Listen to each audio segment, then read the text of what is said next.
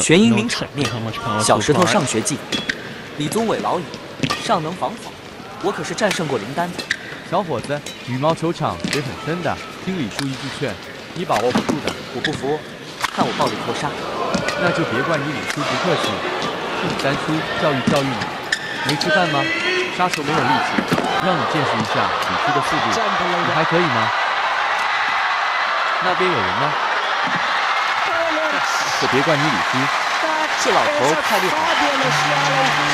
The dive there. How on earth did he get up in time to play the next one? It's just incredible defense by Li Chongwei. So fast. That's so fast in recovery. 这才哪到哪。 And it actually 当年 seems 你丹 like 叔虐我更 first 惨